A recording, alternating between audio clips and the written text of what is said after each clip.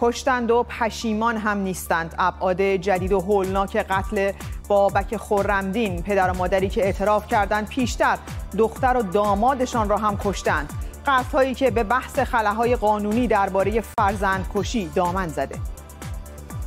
صدور نامه‌ای که مقامات می‌گویند تخلف اداری بوده. قوه قضاییه عقب نشینی کرد و می‌گوید قصد مسدودسازی اینستاگرام را ندارد.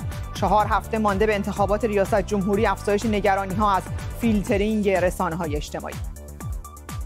ناکامی تلاش های بین المللی برای برقراری آتشبس میان اسرائیل و نوار غزه.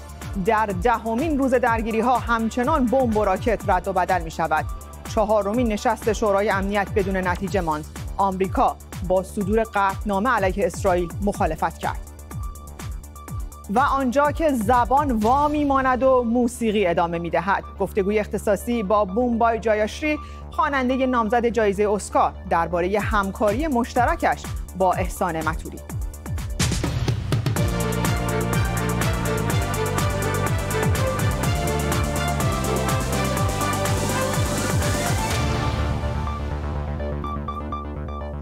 وقت بخیر. بیننده امروز هستید با من شرار عزیزی.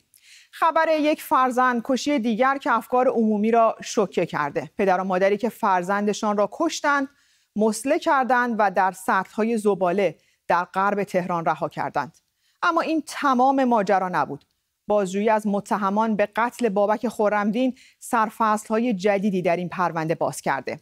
سرپرست دادسرای جنایی تهران می‌گوید متهمان پیشتر داماد و دخترشان را نیز به همین شیوه کشتند. پدر و مادر بابک خورمدین علت اقدام به قتل فرزندان و دامادشان را اعتیاد و فساد اخلاقی عنوان کردند و رو به دوربین خبرنگاران از اقدام خود ابراز پشیمانی نکردند. روانش پزشک پرونده هم اعلام کرده که متهمان از نظر روانی سالم هستند. فیروز جابانی در گزارشش به زوایای مختلف این پرونده نگاهی کرده. اصلا ناراحت نیستم. اگه برگرده به قبل بازم شما همین کار می‌کنید. بله. میدم کابوسش به سراغتون نمیمن کابوسش؟ که چرا مثلا اینا مثل لحظه کشتی نه. نمیمن میدون چرا؟ ابراز رضایت و عدم پشیمانی مادر و پدری که دختر، پسر و داماد خود را تکه تکه کرده و به قتل رساندند در برابر دوربین رسانه ها به اندازه ابعاد پرونده این جنایت ها تکان دهنده است. پرونده قتل بابک خورمدین به دست پدر و مادرش زوایای تاریک یک جنایت سریالی خانوادگی را روشن کرد. قتل داماد خانواده فرامرز در سال 90 و فرزند دختر آرزو در سال 97 با روشی مشابه با قتل بابک. خوراندن ماده بیهوشی در غذا مسله کردن پیکر و رها کردن در سطل زباله خیابانها. دلیل فرزندکشی دامادکشی همان دلایلی است که برای قتل بابک مطرح شد. این سرمایه یک انسان فرزند نیکه.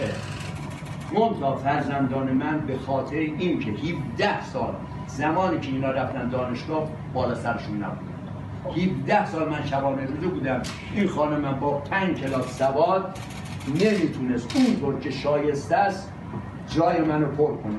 نتونسته توان نداشت. توان نداشت. که این بچه ها به این صورت مبتلا شد. با آنکه در این اعتراف پدر میزان سواد و شیوه تربیت مادر فرزندان را زیر سوال می‌برد با این حال مادر می‌گوید نه سوی همسرش مورد آزار قرار گرفته و نه اجباری برای اقدام و همکاری برای این قتل ها داشته است. رابطتون با شوهرتون خوبه؟ شما مشکلی ندارید؟ نه با شوهرم خیلی هم خوبه. خیلی خوبه شوهرم شوهرم با من یا منو بگیره بزنه یا خوشهای بد بده نه. این اول پیشنهاد کی می‌داد پیشنهاد قتل رو؟ دوتایی با هم شریکی خب اولین نفری که مثلا می‌گفت خب مثلا به جایی رسیده که دیگه بعد به قتل برسونیم کی بود؟ آره. شوهرم گفت منم گفتم باش. محمد شهریاری رئیس دادسرای جنایی تهران اذعان می کند که هنوز تکه هایی از پیکر بابک پیدا نشده او درباره سلامت روان این والدین می‌گوید بر اساس اعلام پزشکی قانونی این دو نفر بعد از معاینات روانپزشکی دارای 95 درصد سلامت عقل هستند. بررسی بیشتر ادامه داره اما متهم در کمال آرامش و کامل به تمام سوالات پاسخ میده و اسامی و وقایع رو به طور کامل به یاد میاره و از سلامت کامل ذهنی برخورداره. حسین رحیمی رئیس پلیس تهران کشف دو قتل جدید در جریان اعتراف را تایید می کند. بار عمومی چطور پرونده داماد خانواده با وجود اعلام مفقودی بسته شده یا معلق مانده این گونه پاسخ می دهد. اینها در مرحله اول اعلام محبوبیت می‌کنه چند روز بعد میگم نه. خودشون دوره میون به پلیس مراجعه می‌کنن مشکل یه مشکل محبوبیت و داماد اونو خانواده داماد هر در قید حیات هستن پیگیری کردن؟ ابهام درباره پیدا نشدن پیکر مسله شده یا آرزو و همسرش با گذشت ده سال یا اینکه چرا نزدیکان این خانواده هرگز سراغی از آرزو که برای کتمان قتل گفته شده در مهاجرت است نگرفتند تنها نقطه های تاریک این پرونده جنایی خانوادگی نیست. جامعه شناسان و کارشناسان حقوقی باور دارند جرم شناسی با این پرونده در ایران شکل دیگری گرفت. چرا که جدا از پررنگ کردن چند باره های موجود در قانون خانواده درباره فرزندکشی نهیبی زد به وجود باورهای سنتی و غیر اصولی در نبود آموزش صحیح و درست در چارچوب خانواده و دایره بزرگتر از آن در جامعه. قانون چه تعریفی برای خانه به عنوان سرپناه امن فرزند دارد؟ اگر این معمن امن نبود دست حمایت این قانون تا کجا گسترده است؟ آیا فرزندان از کودکی با اهمیت حفظ حریم فردی آشنا هستند یا نگاه از بالا به پایین والدین با برچسب مذهب قداست جایگاه پدر و مادر را برای همیشه بالا و بر حق نگه داشته است؟ قانون برای مادر و پدری که مرتکب یا حتی شریک قتل فرزند شدند مجازات یکسانی ندارد. ماده 612 قانون مجازات اسلامی می‌گوید هر کس مرتکب قتل عمد شود و به هر علت قصاص نشود مانند همین مورد فرزندکشی دادگاه مرتکب را به حبس از 3 تا 10 سال محکوم می کند. تصویب لایحه تشدید مجازات پدر بر این قانون کم رمخترین اقدامی است که دولت از آن حرف می‌زند. بر اساس قانون مجازات مادر به عنوان متهم معاونت در قتل فرزند با پدری که می‌تواند به اقتضای ادله فقهی اقدام به قتل فرزند کند و قصاص نشود یکسان نیست. فراموش نکنیم این پرونده دو اولیای دم دارد خواهر و برادر آرزو و بابک. آیا برای حفظ سلامت و امنیت روان و روح این دو نفر با توجه به آسیب‌های جدی این پرونده تدابیری از سوی نهادها و یا مراجع قانونی در نظر گرفته شده؟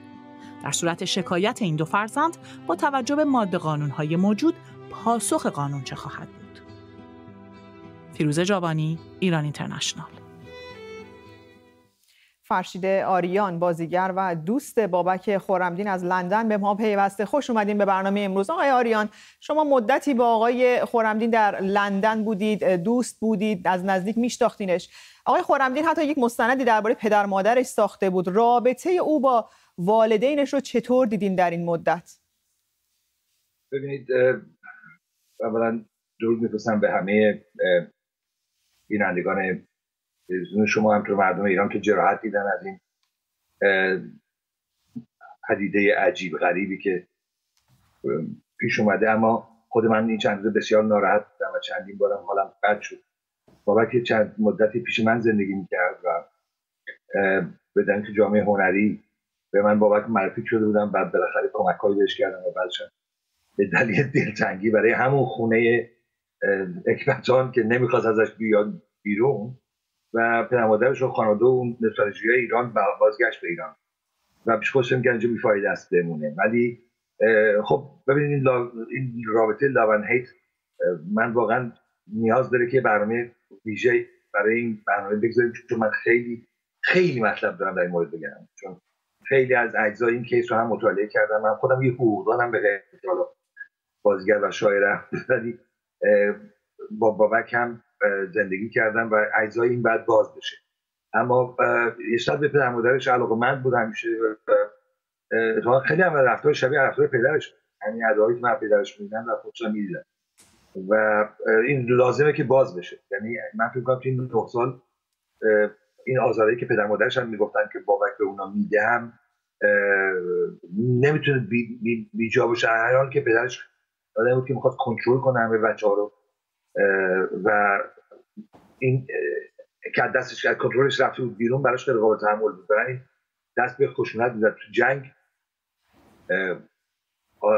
آدم از کافی کشته بود. یعنی این حالت کشتن براش خوبی نداشت. راحت می‌خواست صورت مسئله رو پاک کنه. یعنی کنترلی که بچه ها داشت خب بابک هم مثلا در مقابلش نیستاد و خود بابک هم از روحی از روانی به نظر من سلامت نبود. کل این خانواده به نظر من بغرنجن و من تعجب می‌کنم چطور گزارشتون. حتی پزشکای ایران میگن خانواده سالمه.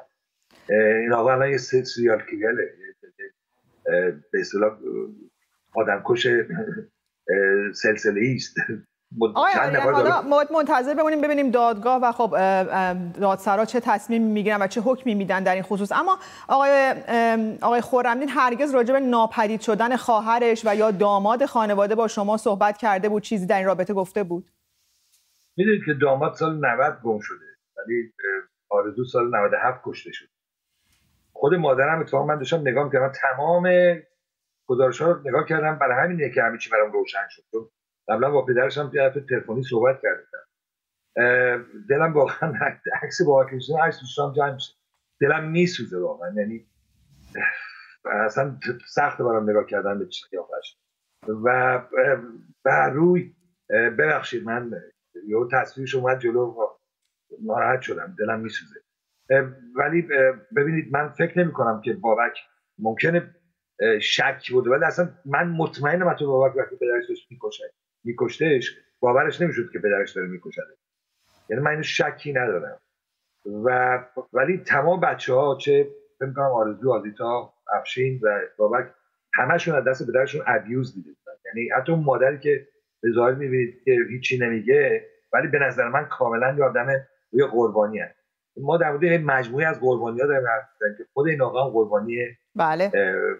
مسائل روانی و روحی و جنگ و شیمیایی و موجی و همه اینا بود. سه بارم موجی و کمپاره بهش ترکش خورده بود. دو بار شیمیایی شده بود. رفتارش مثل دیکتاتور بود و بچه ها مثل ارتش برخورد می‌کرد. کنترلش که از دست می‌داد من فکر می‌کنم چون همون لحظه هم که با من حرف میزن همون لحظه هم به من داشت درس اینجا بازجویی داره به اونا نظر میده که عربا باید عربا رو بکشیم. ممنونم. ممنونم آقای آریان. وقت ما محدود هست. ممنون. فرشید آریان بازیگر و دوست بابک خورمدین از لندن. انتشار جزئیات یک نامه محرمانه درباره مسدودسازی اینستاگرام جنجال آفرین شده. نامه ای که به امضای جواد جاویدنیا معاون قضایی رئیس کل دادگستری تهران در امور فضای مجازی رسیده بود و در آن دستور مسدودسازی اینستاگرام، وی پی ها و فیلتر شکن ها ابلاغ شده بود. ساعتی بعد اعلام شد که این نامه تخلف اداری بوده و جاویدنیا به دلیل صدور این دستور تحت پیگرد قانونی قرار گرفته. تنها چهار هفته مانده به انتخابات ریاست جمهوری که رئیس قوه قضایی یکی از داوطلبان جدی آن است نگرانی ها درباره احتمال ایجاد محدودیت برای رسانه های اجتماعی افزایش پیدا کرده. نازنین معمار و جزئیات بیشتر. آغاز یک خرداد پر از حادثه دیگر با حمله ای تازه به آزادی بیان. افشای دستور فیلترینگ اینستاگرام، گوگل پلی، VPN ها و فیلتر شکن ها که قوه قضاییه را به واکنش واداشت. دلیل فیلترینگ یا برگزار کنندگان رو متهم می‌کنن؟ انتخابات مهندسی شده چه شده؟ این در واقع برگزار کنندگان انتخابات رو دارن متهم می‌کنن یا شورای محترم نگهبان رو متهم می‌کنن. یا مردم رو دلسرد می‌کنن. رأی شما اثری نداره در بهبود اوضاع تأثیری نمی‌گذاره. چرا بی خودی خودتون خسته می‌کنید؟ جمهوری اسلامی در محدود کردن فضای مجازی ید طولایی دارد با فیلترینگ آشکار سایت ها و شبکه های اجتماعی یا فیلترینگ پنهان با محدود کردن پهنای باند شبکه های اجتماعی خارجی بارسترین نمونه آن در آبان 98 در خاموشی مطلق یک هفته ای اینترنت تجلی یافت. برخلاف تلگرام و توییتر و فیسبوک، تلاش چند ساله بخشی از حکومت برای بستن دسترسی اینستاگرام تا به حال ناکام مانده. محمد جواد آذری جهرامی، وزیر ارتباطات و فناوری و مسئول رسمی قطع ارتباطات در جمهوری اسلامی به دلیل قطع گسترده اینترنت در آبان 98 در فهرست تحریمی های آمریکاست. اما آنچه از نظر جامعه بین الملل مستاق خفقان است از سوی بخشی از حکومت و رهبر جمهوری اسلامی به ولنگاری در فضای مجازی تعبیر می شود. متاسفانه فضای مجازی کشور ما هم که اون رعایت های لازم با وجود این همه تأکیدی که من کردم درش صورت نمی‌گیره و در یک جهاتی وله واقعا جواد جاویدنیا که فرمان جدید فوق محرمانه فیلترینگ را امضا کرده به همراه صدا و سیما حدود چهار ماه پیش از محمد جواد آذری جهرومی شکایت کردند که مصوبه های شورای عالی فضای مجازی را برای مسدود کردن فیلتر شکنها و پیام های خارجی اجرا نکرده. در شرایط اقتصادی نابسامان ایران که نرخ تورم و بیکاری سر به فلک می کشد، اینستاگرام برای خیلی ها منبع درآمد است و روزنه امیدی که کسب و کارشان را بر آن بنا کردند. یکی از دلایل اصلی که تا امروز حکومت را در بستن اینستاگرام ناکام گذاشته، نگرانی از همین نارضایتی عمومی بوده از تخت شدن در کسب و کار مردم. این بار هم آخرین تلاش از تلاش های سریالی جاوید نیاب برای بستن اینستاگرام به بنبست خورد. قوه قضایی از بلا اثر شدن نام خبر داد و اعلام کرد جاوید نیاب به دلیل تخلف اداری و مداخله خارج از وظایف و اختیارات تحت تعقیب دادسرای انتظامی قضات قرار گرفته. مصوبه شورای عالی فضای مجازی اما برای فیلترینگ اینستاگرام و محدود کردن VPN ها و فیلتر شکن ها همچنان پابرجاست. هر آن ممکن است بار دیگر برای اجرا ابلاغ شود ولی احتمالاً نه قبل از انتخابات. نامزدهای ریاست جمهوری برای تبلیغات انتخاباتی در اینستاگرام برنامه ها دارند و یکی از این نامزدها ابراهیم رئیسی است. رئیس کنونی قوه قضاییه. وعده های انتخاباتی هرچقدر هم که باد هوا باشند بعید است ابراهیم رئیسی بخواهد با وعده به مسلخ بردن آزادی بیان کارزار انتخاباتیش را شروع کند. نازنین معمار ایران اینترنشنال امین ثابتی کارشناس امنیت اینترنتی از لندن همراه ما شدن خوش اومدیم به برنامه امروز.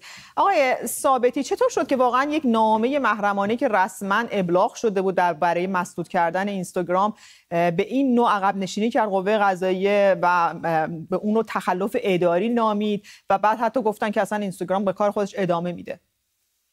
کنیم بر اساس تاریخچه‌ای که جمهوری اسلامی در و در مورد انتخابات کلا قبل از انتخابات نباید اونقدر دنبال این باشیم که شبکه اجتماعی مسدود میشه و از این دست چیز و این نامآمده احتمالا میگم. حالا میگم.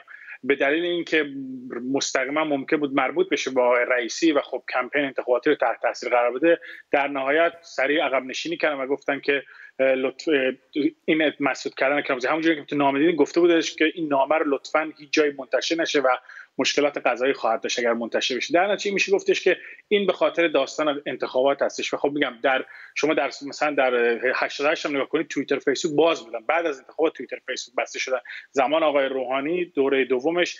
تلگرام بود از تلگرام استفاده می‌کنم بعد از اینکه دولت آقای روحانی اومد رو سر کار و قرار نبود دستش روی فیلترینگ بره دکمه فیلترینگ بره اومدن تلگرام فیلتر که الان هم اتفاق افتاده. این هستش که همین اتفاق داره میفته این هستش که الان میگن ما بلاک مسدودش نمی‌کنیم. ولی خب بعد از انتخابات بازم میگم بر اساس ممکن اشتباه باشه کلا پیش بینی کردن رفتار جمهوری اسلامی سخت است. ولی خب بر اساس تاریخچه و چیزایی قبلا جمهوری اسلامی انجام داده میشه گفتش که احتمالا در لیست در دقیقا لیست آرزوهای احتمالا دولت بعد این خواهد بود که اینستاگرام بلاک یا مسدود کنه و خب ممکن میگم سورپرایز هم نخواهم شد به شخصه اگر ببینیم تا مثلا تا پاییز سال تا پاییز امسال اینستاگرام توی در در ایران مسدود بشه. آقای ثابتی خب خیلی ها در ایران از طریق اینستاگرام دارن کسب درآمد می‌کنن. اگر به گفته شما حالا تا موقع انتخابات این رو تحمل بکنن و بعد از انتخابات اون رو فیلتر بکنن فکر می‌کنین واقعا این نارضایتی ایجاد نمی‌کنه در بین خب عموم جامعه؟ اگر از من این سوال قبل از مسیج شدن تلگرام می‌پرسید فکر کنم یه بارم پرسید. من می‌گفتم هزینه سیاسی بالا هستش ولی خب کارها اتفاقاتی که توی چهار سال گذشته افتاده نشون داده که زیاد حکومت ایران به این هزینه ها توجه نمی‌کنه و براش مهم نیست. وقتی که شما هفت روز اینترنت تو ایران حالا تو بخشی از که بخش تو بخش از برخی از استانهای کشور تا ده روز مثل سیستان و بلوچستان قطع بود. وقتی شما قطع می‌کنید و میلیاردها دلار ضربه می‌زنید به اقتصاد اون شرکت بیزنس ها و یا تلگرامی که خیلی می‌دونستیم خیلی شرکت ها و بیزنس های مختلف روش استفاده می‌کنن مسدود کردید. این مورد هم زیاد میگم بهش فکر می‌کنم مشکل اصلی جمهوری اسلامی این هستش که به این چیزا فکر می‌کنه به این فکر می‌کنه که ابزاری که نتونه کنترلش کنه تحت کنترل خودش قرار بده. محتواش به قول خودش اسلامی زنکار چجوری می‌تونه باید مسدود کنه و این این تن راه که همیشه بهش فکر می‌کنه. ممنونم. امین ثابتی کارشناس امنیت اینترنتی از لندن. با وجود تلاش های بین المللی برای پایان دادن به ده روز آتش و جنگ میان اسرائیل و فلسطینی ها این بحران به قوت خود پابرجاست. همچنان نوار غزه زیر بمباران جنگنده های اسرائیلی قرار دارد و راکت های حماس آسمان اسرائیل را میشکافند. همزمان با تمایل حماس برای پذیرفتن آتش بس یک وزیر ارشد اسرائیلی نیز اعلام کرده که کشورش باید آتش بس اعلام کند. در همین حال چهارمین نشست شورای امنیت برای حل این بحران نیز بی نتیجه پایان پیدا کرد و آمریکا صدور قطعنامه علیه اسرائیل را مناسب ندانست. رها باوند گزارش میده. ادامه حملات مرگبار اسرائیل به نوار غزه در سایه ناتوانی جامعه بین المللی در مهار خشونت ها. بیش از دویست فلسطینی و دوازده اسرائیلی جان خود را از دست دادند.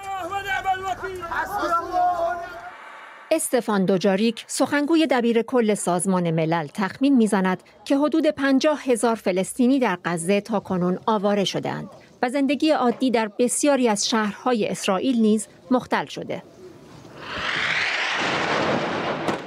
با این حال تا کنون نشانه ای از تمایل رهبران اسرائیل و حماس برای پیشدستی در کاهش و یا پایان خشونت ها دیده نمی شود بلکه هر دو سو بر ادامه پیکار تا رسیدن به خواسته های خود تاکید می کنند. بنیامین نتانیاهو در پاسخ به درخواست رئیس جمهور روسیه درباره آتش بس می‌گوید حملات به غزه تا هر زمان که لازم باشد ادامه خواهد داشت. تنها دو راه برای برخورد با فلسطینی ها وجود داره. یا میشه سرزمین هاشون رو اشغال کرد که البته گزینه محتمله و یا میشه اونها رو از رسیدن به هدفشون باز داشت. ما الان به طور قدرتمندی مشغول انجام بازدارندگی هستیم. اما باید تصریح کنم که هیچ گزینه دیگری رو هم رد نمی کنیم. امیدواریم که بتونیم اوضاع رو به طور سریع آرام کنیم. ما در حال حاضر مشغول بازگرداندن آرامش هستیم. و حد اکثر تلاشمون رو هم برای جلوگیری از مرگ مردم عادی انجام میدیم. همزمان درخواست های مکرر کشورهای جهان برای پایان خشونت ها با گوش بسته مواجه شده. تازه ترین تلاش هم با هماهنگی مصر، اردن و فرانسه پیشنویس قطنامه است با هدف آتش بس و حل مناقشه میان حماس و اسرائیل. این در حالی است که نشست شب گذشته شورای امنیت برای برقراری آتش بس میان اسرائیل و حماس بدون دستیابی به نتیجه پایان یافت. دلیل آن هم امتناع آمریکا از تایید آن به خاطر عدم محکومیت حملات موشکی حماس در پیشنویس پیشنهادی بود. This is what we are uh, talking about the Security Council. این اون چیزی است که ما درباره‌اش حرف می‌زنیم و اون سکوت بیشرمانه شورای امنیته که حتی از گرفتن یک موضع متحد برای پایان خشونت ها ناتوانه. واقعیت خود گویان تا الان هیچ کشوری نتونسته اسرائیل رو قانع به اجرای درخواست های جامعه بین الملل برای پایان تجاوزگری کنه. آنچه مسلم است ادامه خشونت ها نمی تواند دستاورد سیاسی و نظامی برای هر دو طرف اسرائیلی و فلسطینی داشته باشد. اینکه در چه شرایطی و با چه اجماع جهانی دو کشور اسرائیلی و فلسطینی بتوانند به طور مسالمت آمیز در کنار هم زندگی کنند طرفداران بیشتری پیدا می کند. رها ایران اینترنشنال همکارم یوسف عباسزاده اینجا در استودیو همراه من یوسف خبرهای درگیری بین اسرائیل و نوار غزه رو داری دنبال می‌کنی. فکر می‌کنی که واقعا صلح به کجا برسه؟ چون همه کشورها دارن تلاش می‌کنن بالاخره یه راه حلی پیدا بکنن اما خب از اون طرف هم می‌بینیم که آمریکا نمی‌ذاره هیچ قطعنامه ای بر علیه اسرائیل صادر بشه. شکست چهار نشست شورای امنیت سازمان ملل الان امیدها رو به پیشنویس قطعنامه پیشنهادی فرانسه در واقع متوجه کرده. فرانسه بعد از رئیس جمهور فرانسه بعد از نشست با رهبران مصر و اردن این پیشنویس رو آماده کردن. امشب قرار در اختیار اعضای شورای امنیت قرار بگیره. البته این قطعنامه به حمایت آمریکا نیاز داره. آمریکا در یک هفته گذشته سه بار مانع از صدور بیانیه شورای امنیت علیه اسرائیل شده. جو بایدن دیروز در بازدیدش از یک کارخانه خودروسازی در میشیگان سوار بر یک خودرو به جمع خبرنگاران اومد به توقف کرد. وقتی که در برابر سوال یکی از خبرنگاران قرار گرفت در مورد بحران اسرائیل و فلسطین گفت که نمی‌خواد پاسخ بده و پا روی پدال گاز گذاشت و به سرعت از جمع خبرنگاران دور شد. این نشانه حساسیت این مسئله برای دولت بایدن هست. اما پشت پرده مذاکراتی در جریان هست. سخنگوی دولت بایدن گفته که این مذاکرات باید محرمانه بمونه. خبرگزاری آسوشیتد پرس گفت که مقام های آمریکایی مشخصا از اسرائیل خواستند که از تعداد و شدت حملات به غزه باید کاسته بشه. الان تمام امیدها به پیش، پیش، پیشنهاد قطعنامه فرانسه است که گفتم با توجه به سابقه حمایت آمریکا از اسرائیل در چنین نشستایی احتمالا با مشکل مواجه بشه. در سال 95 دولت باراک اوباما هم حزبی آقای بایدن قطعنامه شورای امنیت سازمان ملل رو برای علیه اسرائیل علیه شهرک سازی های اسرائیل در بیت المقدس شرقی بهش رأی ممتنع داد در حالی که هر چهارده عضو شورای امنیت به اون رأی مثبت دادند. قطنامه دیروز که به نروژ و تونس اون ارائه کردن رد شد. حالا باید ببینیم قطنامه فرانسه چی میشه. اما یوسف از اون طرف حماس اعلام می‌کنه که تمایل داره آتش بس اعلام بشه. کشورهای مختلف هم دارن تلاش می‌کنن. در گفتگوی دیروز اون با آقای برقوسی هم همین نکته رو تایید کرد. اما فکر می‌کنید چرا نتانیاهو از اون طرف داره پافشاری می‌کنه؟ میگه این حملات تا جایی که بخ... لازم باشه ادامه پیدا می‌کنه. مصر با میانجیگری مصر خبرگزاری رویتس امروز بعد ظهر اعلام کرد با میانجیگری مصر مثل اینکه فلسطینی ها و اسرائیل و حماس و اسرائیل به یک توافق اولیه برای اعلام آتش بس رسیدن. اما با وجود این اسرائیل و مشخصا آقای بنیامین نتانیاهو نخست وزیر اسرائیل بر ادامه حملات علیه مواضع حماس تاکید کرده. چرا؟ ممکنه آخرین اظهارات آقای بنیامین نتانیاهو برای ما یک سرنخهایی داشته باشه. دیشب ایشون گفت که عملیات ده روزه اخیر حماس رو به چند سال عقب برگردونده. مشخصا اشاره می‌کنه به توان نظامی و تسلیحاتی حماس. حماس در ده روز گذشته 3500 موشک به سمت اسرائیل شلیک کرده. این یعنی یک چهارم ذخایر موشکی حماس. در حالی که در جنگ 50 روزه 2014 تنها 4500 موشک به اسرائیل شلیک کرد. الان اسرائیل سعی می‌کنه دوره این درگیری رو تا قبل از جلسه شورای امنیت طولانی کنه تا بلکه بتونه بیشترین صدمه رو به حماس بزنه. چرا که اسرائیلی ها می‌دونن که ایران حامی تسلیحاتی و مالی حماس دیگه نمی‌تونه به علت مشکلات نقدینگی کمک کنه به حماس برای پر کردن انبارهای موشکی. البته آقای نتانیاهو همزمان گفت که روی تصمیمات آتی در حال مشاوره با کابینه هست که این تصمیمات به احتمال زیاد به نتیجه نشست شورای امنیت بستگی داره. ممنونم از تو. همکارم یوسف عباسزاده اینجا در استودیو برنامه امروز. در غزه بحران جدیدی به محاصره و بمباران روزمره اضافه شده. ساکنان این منطقه حالا با بحران برق و آب مواجه شدند. دست کم 50 هزار نفر آواره شدند و در مدارس وابسته به سازمان ملل پناه گرفتند. مدارسی که امکانات اولیه برای زندگی را ندارند. روان مرشد خبرنگار آزاد از غزه گزارش میده. تغیر حال نه روز بمباران پیاپی نوار غزه توسط ارتش اسرائیل زندگی مردم را زیر و رو کرده. شبکه کابل های برق و لوله های آب که از زیر خیابان های شهر غزه عبور می کردند از بین رفته. بخش مهمی از منابع آب در غزه از بین رفته و شهرداری ها برق ندارن که چاهای آب را راه اندازی کنند. یک تصفیه خونه آب در شمال غزه هم به شکل کامل از کار افتاده. این تصفیه خونه تامین کننده اصلی آب در شمال غزه بود و آب دریا را شیرین می‌کرد. آواره های فلسطینی که به خاطر بمباران اسرائیل از خانه های خود به مدارس تحت نظر سازمان ملل گریختند شکایت دارند که از آب و برق به عنوان امکانات اولیه زندگی محروم هستند. وضعیت اینجا در این مدرسه بسیار سخته. نه برق داریم و نه آب. حتی به اندازه که بچه هام رو همون کنم هم آب نداریم. بحران کرونا هم که هست. اینجا اگه کسی با بمب های اسرائیل نمیره به خاطر مریضی میمیره. شرایط خیلی سخته. به اینجا آمدیم و متوجه شدیم که اینجا هم خراب است. تمیزش کردیم و تلاش کردیم مشکلات سیمکشی برق را برطرف کنیم.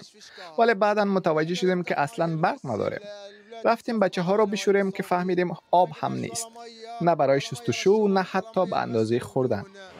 المكتب الإعلامي الحكومي في غزة يقول دفتر اطلاع رسانی دولت در غزه می‌گوید که خیابانها و زیرساختها در غزه حدود 14 میلیون دلار خسارت دیده. بخش انرژی شامل برق و آب هم بعد از بمباران اسرائیل متحمل حدود 10 میلیون دلار خسارت شده. برق و آب دو بحران جدید در غزه است. این بار زیر سایه بمباران مداوم اسرائیل. بحران انسانی که ایجاد شده پیامدهای خطرناکی در غزه خواهد داشت چرا که هیچ کس راهی برای کاستن از رنج روزمره مردم غزه ندارد. رواء مرشد ایران اینترنشنال غزه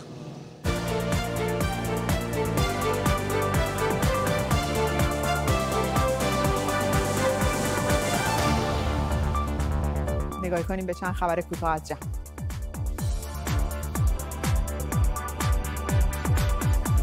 پلیس اسپانیا برای جلوگیری از هجوم پناهجویان به سمت حصار مرزی در منطقه سئوتا به سمت آنها گاز اشکاور شلیک کرد.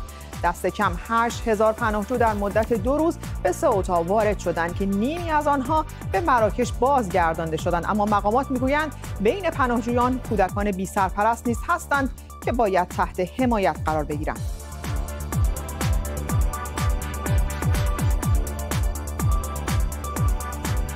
ریاست جمهوری لبنان اعلام کرده که شربل وحبی وزیر خارجه این کشور تصمیم گرفته از منصب خود, خود کنارگیری کند. وحبی روز دوشنبه در مصاحبه گفته بود که کشورهای خلیج فارس به تقویت داعش کمک کردند. حرفهایی که باعث شد سفرای لبنان در این کشورها به وزارت خارجه احضار شوند.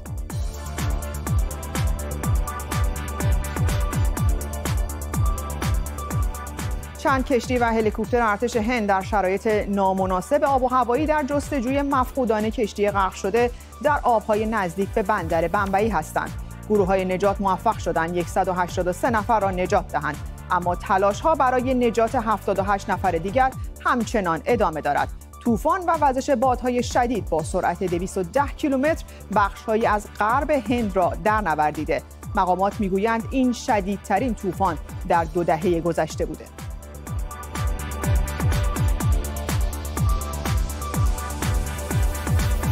سوکسیس هرناندز از رهبران گروه فارک کلمبیا که پیشتر از توافق صلح با دولت این کشور خارج شده بود در ونزوئلا کشته شد. هرناندز که به دلیل قاچاق کوکائین تحت پیگرد دولت آمریکا هم بود در حمله غافلگیرانه کشته شد. کلمبیا دولت ونزوئلا را به پناه دادن به شورشیان فارک متهم می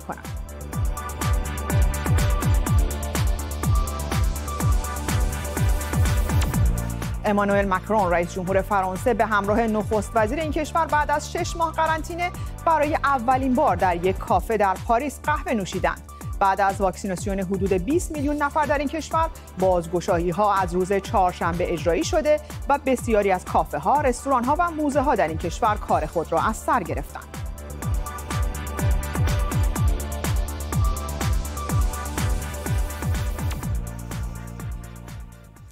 موجودات کوچکی که برای ما تداعی کننده نیش و اصل هستند اما طبیعت سهم عمده از رویش و زایش خود را مدیون آنهاست. امروز روز جهانی زنبور است. های طبیعی که از گیاهی به گلی دیگر سفر می کنند و نقش کلیدی در حفظ تنوع زیستی و باروری گیاهان دارند. اگر زنبورها روزی از جهان هستی کم شوند بشر با بحران امنیت غذایی و تغییر پوشش گیاهی و در نهایت مرگ بسیاری از گیاهان مواجه می شود لیلی نیکفر به یکی از ییلاقهای ترکیه سفر کرده و نگاهی انداخته به صنعت زنبورداری و تولید اصل در این کشور. دانشمندان می‌گویند اگر این زنبورها نباشند زندگی بشر دچار دشواری های زیادی خواهد شد. همه ما برای زنده ماندن به نوعی به زنبورها و سایر گردافشانها وابسته هستیم. اما محققان محیط زیست معتقدند نسل زنبورها با تهدیدات زیادی روبروست و اگر نسبت به آن آگاهی ایجاد نشود انسانهای نسلهای آینده برای کشاورزی و تأمین غذا دچار مشکلات جدی خواهند شد. زنبور اصل نه تنها به خاطر تولیداتش اهمیت دارد بلکه یکی از پررنگترین نقش ها را برای گردافشانی به عهده دارد. سه کشور چین، ترکیه و ایران به ترتیب بیشترین تولید کنندگان اصل در جهان در سال گذشته بودند. اینجا در ارتفاعات حاشیه دریای سیاه در ترکیه زنبورداری تخصصی مهم به شمار می رود. به خاطر اینکه نسل زنبورای اصل با خطر انقراض مواجهه اینها واقعا به لحاظ سرمایه اهمیت خیلی ویژه‌ای برای زنبورداران دارند برای همین برای مراقبت و نگهداری از اونها در فصلهای گرمتر اینها رو در این مناطق ییلاقی نگه میدارن و بعدها وقتی هوا سردتر شد اونها رو به جای امتری منتقل می‌کنن. در زمستون اونا رو از ارتفاعات پایین میاریم تا وقتی در بهار بیدار شدند اونا رو برای تابستون آماده کنیم. نمی‌تونیم زنبورها رو بلافاصله دوباره به ییلاق ببریم. اونا برای اینکه اصل بسازند اول باید تقویت و آماده سازی بشن و بتونن زاد و ولد کنن. برای اینکه اونا رو بیاریم ییلاق تا از گیاهان مخصوص اصل بگیرند باید در هر کندو دست کم 60 تا 80 هزار زنبور وجود داشته باشه. زنبور اصل 21 روز داخل کندو نظافت و آماده سازی انجام میده بعدش هم حدود 20 روز اصل تولید می‌کنه.